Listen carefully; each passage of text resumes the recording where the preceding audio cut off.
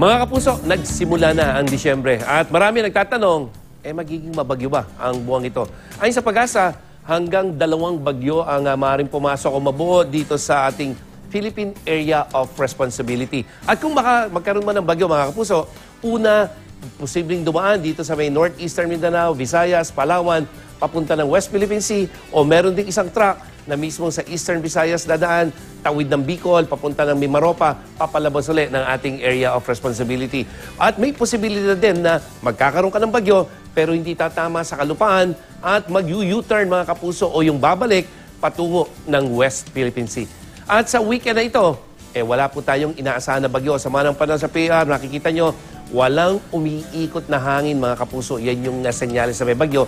Pero kitang-kita rito yung pag-ihip ng hanging amihan o yung malakas na hanging amihan dito sa may extreme northern Luzon, kasama na dyan sa ilang bahagi ng Hilagang Luzon.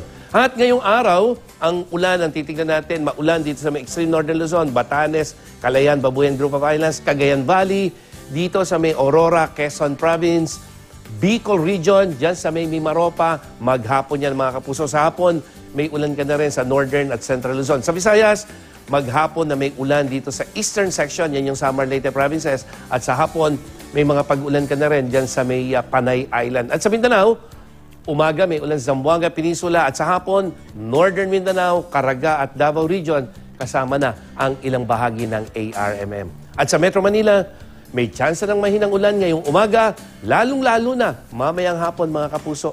Pero hindi po ito yung malawakan at hindi rin nagtatagal. Kaya dapat din magdala tayo ng panangga sa ulan.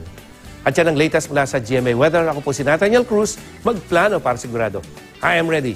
Serbisyong totoo ng GMA News.